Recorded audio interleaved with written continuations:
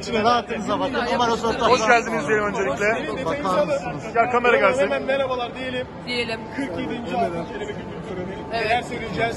2 yılın aradan sonra tekrar herkes bir arada. Allah. Kameralara doğru konuşursak memnun oluruz. Hayır ben buraya. doğru. Ne olur keyfiniz bilir. Ben en son zaten 2016'da gelmiştim. Hasan.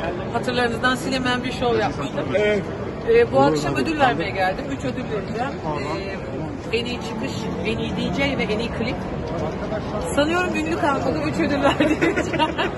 ya heyecanlıyım, güzel hazırlandım. iyi şarkı çıkartan Efendim? ya da iyi şarkı çıkartan mı? Ne alakası var aşkım? Ben ne diyorum, sen ne diyorsun? En iyi şarkı ödülü de var. İrem Hanım aşk Harika bir şov dediniz efendim. Nerede bulmuşsun efendim? Öyle duyduk. Yok hayır, ee, bahsettiğiniz kişi zaten burada Genco. Ee, nerede buldum kız aşk aşk yok. Tamam öyle söylediler de şimdi sorayım istediler. Ay ben bulsam Sevgilisiyle gelmiş dediler. sevgilim değil yani evet 2018'de kısa süreli ilişkimiz olmuştu kendisiyle ama şimdi 17 Aralık'ta düet şarkımız çıkacak.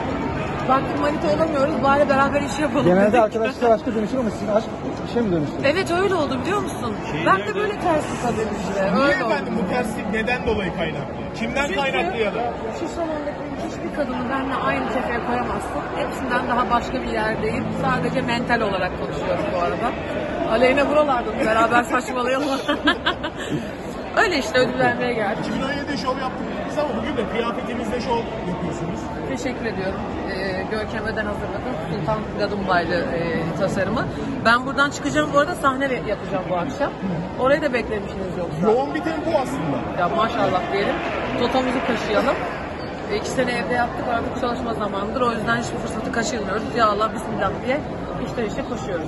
Peki, çok teşekkür ederiz. Teşekkür ederim. Detay alacak arkadaşlar. Beni tek mi alıyorsun?